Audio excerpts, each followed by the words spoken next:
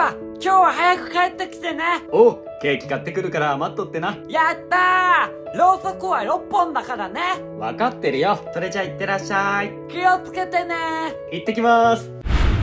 えー、宝塚発同志社前行き列車発車します。仕事早く終わらせたいし乗っちゃうか発車します。この時間は1両目でも混んでんなおっとっと。あれ？どうしたんだ？えー、ただいまオーバーランのため停止位置を調整いたします。お待ちください。オーバーランなんて言ったらクレーム来ちゃうじゃん結構行き過ぎてないか？行き過ぎんなよ。え？何やってんだ、運転手は。おい、大丈夫か？すいません。結構行き過ぎてんぞ。あの、ちょっと負けてくれないですか？いや、だいぶオーバーランしてたぞ。助けてくださいよ。もう厳しい罰は受けたくないんですよ。でもな。おい謝罪はないのか？あ申し訳ありません。え？電話が切れた？すぐに謝罪のアナウンスしますので。しっかりしろ。すいません。車掌さん。車掌さん。え？もしかしてミスのこと報告されてるんじゃまた上司に怒られて大量の反省文書かされて？あ1分30秒も遅れてる。さっきのミスもあるのに遅延までしてたらやばい。取り返さないと。発車ちょっと遅れてんな。早く出といてよかった。どうしよう。どうしよう。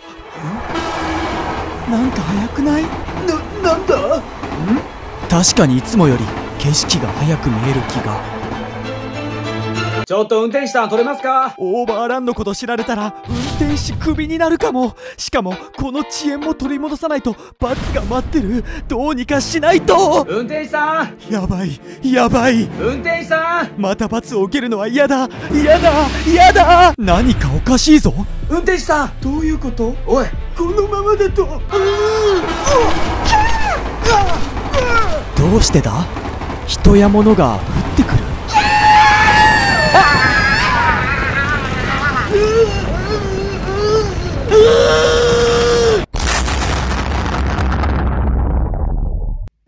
先ほど9時18分頃 JR 福知山線塚口尼崎間で脱線事故が発生しました。まさか乗ってないわよね。どうしたのママ？なんで出ないの？ママ？あれ？真っ暗だ。俺はどこにいるんだ？苦しい。お母さん。俺は生きてるのか？そうだ。今日は息子の誕生日だった。ケーキ買って帰んなきゃなのに。誰かいるか？はいはい必ず救急隊員が助けてくれる。はい。はい。聞こえますか？あ。救急隊の吉沢です。ありがとうございます。安心してください。必ず助けますよ。先頭車両生存者確認しました。喉が。あ喉がどうしたんですか？水を。はいこれ飲んでください。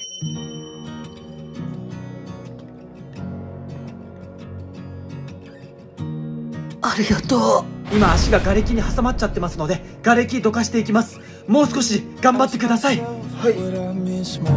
うちの旦那はまだ見つからないんですか？現在捜索中ですのでお待ちください。私にも探させてください。お母さんお気持ちは分かりますが危険ですので。行かせてください。私はどうなってもいいので。お母さん私たちに任せてください。必ず助けますので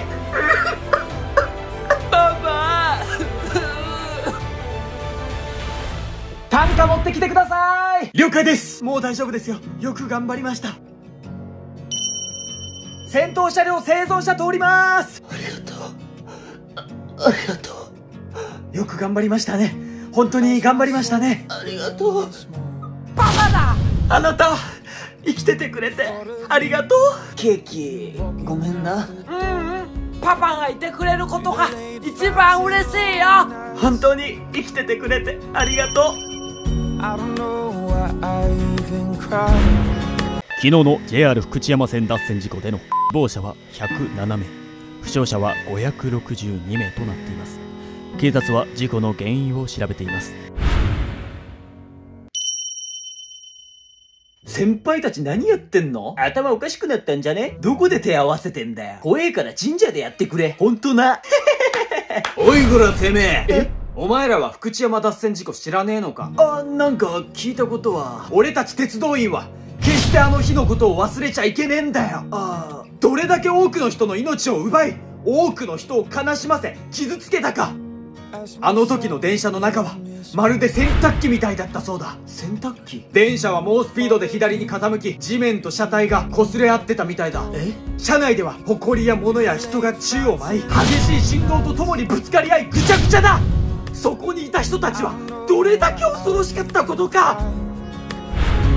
電車はマンションに激突して止まったが先頭車両はぐちゃぐちゃ。2両目3両目も脱線して放り出されていた。人は複雑に絡まり重なり合い即の人も多かっただろう。そんな地元の消防隊や県外からも救急隊が来て徹夜で救助作業が行われたんだ。そうなんですね。とはいえ107名の者と562名の負傷者を出した。脱線事故により家族や友人を亡くした人はこんな悲しい思いをしなければいけない。遺族という人をこれ以上作ってほしくない。何よりも安全な鉄道であってほしいと願ってんだよ。はい。脱線事故の影響で大怪我をした人は自分は助かったが未来を頑張れなかった人たちのためにこれからを頑張りたい。人は忘れていくものだからこの機会にあの日のことを伝えていきたいと言っているんだだからあの日のことを忘れずに安全で安心な鉄道を共に作ろう。はい。